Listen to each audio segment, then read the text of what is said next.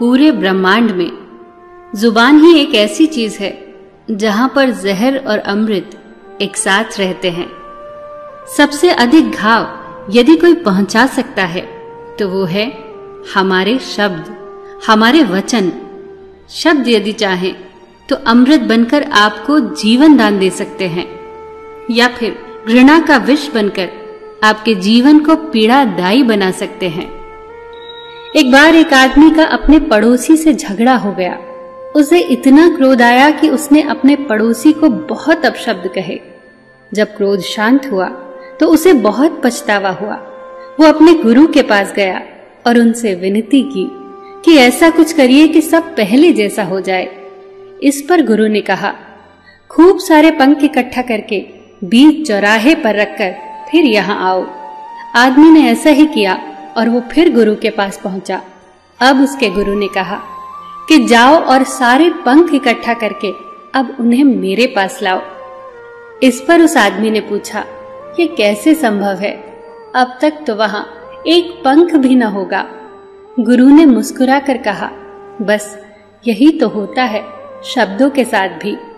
शब्दों का चुनाव जहाँ भी थोड़ा सा भी गलत हुआ, फिर कुछ भी पहले जैसा नहीं रहता। शब्द संहारे बोलिए। शब्द के हाथ न पाओ। एक शब्द औषधि करे, एक शब्द करे घाव। किसी की अच्छाई का इतना भी फ़ायदा मत उठाओ कि वो बुरा बनने के लिए मजबूर हो जाए। बुरा हमेशा वही बनता है जो अच्छा बनकर टूट चुका होता है। पसंद करना और प्यार करना दोनों अलग अलग चीज़ें हैं। जिन्हें भूल पसंद होता है वो उन्हें तोड़कर अपने पास रख लेते हैं। पर जिन्हें फूलों से प्यार होता है, वो उसे तोड़ते नहीं हैं, बल्कि उसकी देखभाल करते हैं। मूल्यवान वो नहीं जो ग्रहण किया जाता है, बल्कि मूल्यवान तो वो है जो पचाया जाता है। क्योंकि भोजन यदि ना पचे तो रोग बढ़ता है। बात न पचे तो चुगली बढ़ती है। प्रशंसा यदि ना पचे तो अहंकार बढ़ता है और राज न पचे तो खतरा बढ़ता है। दुख न पचने पर निराशा बढ़ती है और सुख न पचने पर पाप बढ़ता है। इसीलिए जो भी मिले, उसे पचाना सीखिए। इसी में जीवन का सार है। खाली हाथ ही रह जाते हैं वो लोग, जो दूसरों की खुशियाँ छीन लेते हैं। जीवन में जो भी करो, पूर्ण समर्पण के साथ करो। प्रेम करो तो मीरा जैसा, प्रतीक्षा करो तो शबरी जैसी, भक्ति करो तो हनुमान जैसी और शिष्य बनो तो अर्जुन जैसा।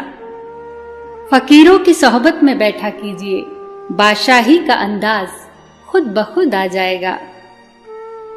प्रभु कहते हैं, तुम किसी का कुछ न बिगाड़ो, मैं तुम्हारा कुछ न बिगड़ने दूँगा। घड़ी को सिर्फ़ देखो मत बल्कि वो करो जो घड़ी करती है। बस चलते रहो। अगर रास्ता खूबसूरत हो तो पता करो कि किस मंजिल को जाता है। लेकिन अगर मंजिल खूबसूरत हो तो रास्ते की परवाह कभी मत करो। वर्तमान से सुख लेने का प्रयास करो। भविष्य तो कपटी होता है, जो केवल आश्वासन देता है, गारंटी नहीं। छोटी छोटी खुशियाँ ही तो। जीने का सहारा बनती हैं। इच्छाओं का क्या है? वो तो पल पल बदलती हैं। जीवन में दो लोगों का होना बहुत ज़रूरी है। एक कृष्ण का, जो ना लड़े फिर भी जीत पक्की कर दे। दूसरा कर्ण का, जो हार सामने हो फिर भी साथ न छोड़े। और ये अंतिम पंक्तियाँ आप सभी के लिए दुआ मिले बड़ों से। साथ मिले अपनों से, खुशियाँ मिले जग से, रहमत मिले रब से, प्यार मिले सबसे बस यही दुआ है रब से। सब खुश रहे आपसे और आप खुश रहें सबसे सबका ख्याल रखना, पर अपना भी ख्याल रखना। हमेशा मुस्कुराते रहना, कभी अपने लिए तो कभी अपनों के लिए।